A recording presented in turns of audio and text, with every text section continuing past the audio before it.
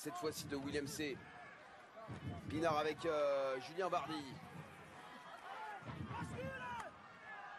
Les Montpellier à 5 mètres de l'embut euh, d'Ajar. On essaye de partir au rat de la part.